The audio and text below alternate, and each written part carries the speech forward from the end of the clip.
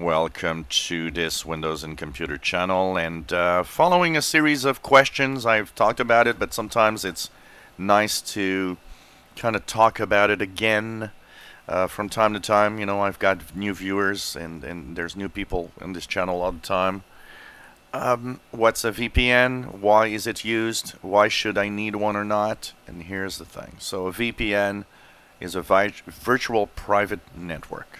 A VPN is basically a encrypted tunnel between your computer and whatever other computer you're actually um, contact contacting on the web.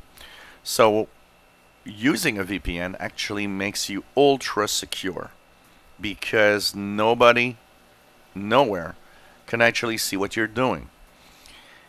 Technically, we should all be in a VPN. Honestly, to be really secure, to be at the best level possible, the world, the perfect world, means that we would all be in VPNs all the time when we access the internet. And that would make us secure. But the real world aspect of VPNs is different. Stock operating systems like Windows, for example, don't have VPNs in it. Uh, Linux doesn't have a VPN built in unless you have a special version that does have one. Mac doesn't have a VPN unless you install one and the difference is because, for example, when you go on websites, you know, there's ads, and these ads, of course, have tracking, and all of that is working in a, a, a world where things are not super encrypted. Now, you might say, oh, well, there's HTTPS, so it's like a VPN. It's not. HTTPS means the website you're going to is secure, but it has ways of snooping on you. The website can do a lot of things to figure out you know who you are and what you actually like. And it, they want to do that because they want to have ads served to you that you might be interested in. But when you're in a VPN this doesn't work anymore. Because in a VPN you can actually spoof. You can use a VPN from anywhere around the world and say hey um, although I'm based in Canada um, you'll go to a website and it's going to show up oh well you are from you know um, Bulgaria because you can choose in a VPN from where the connection comes from. So it's kind of hiding yourself a little bit. You're somewhere, but you're actually in using another computer from somewhere else to connect. So that's also the other side of it. You can spoof your location.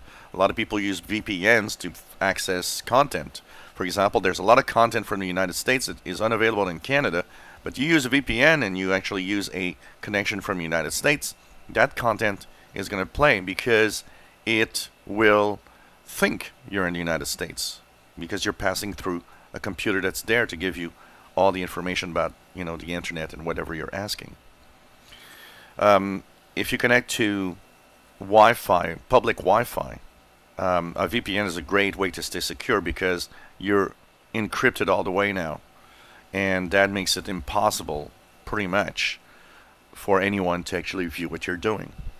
Of course, if you live in a country or a state that is a little problematic on the privacy side, on snooping on you, or if you're scared that your own governments, you know, uh, UK, whatever, US, Canada, is maybe snooping on what you do, a VPN is a great way to stop that snooping from happening.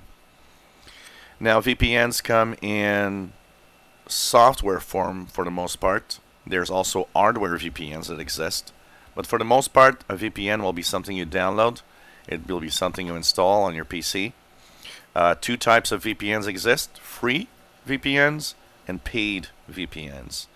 Technically, a paid VPN is better in a lot of cases because it is more, um, it, it will like not snoop on you as much a free VPN might, in exchange for the fact that it's free, actually snoop on you a little bit.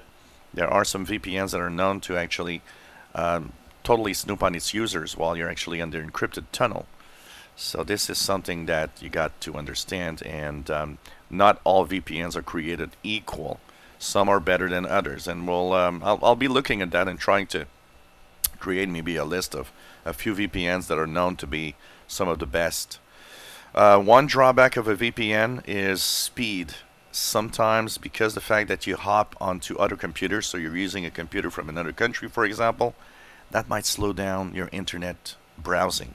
It might actually create sometimes some, um, you know, uh, buffering of videos. It depends on the VPN, and of course, once again, paid VPNs often perform better than free VPNs.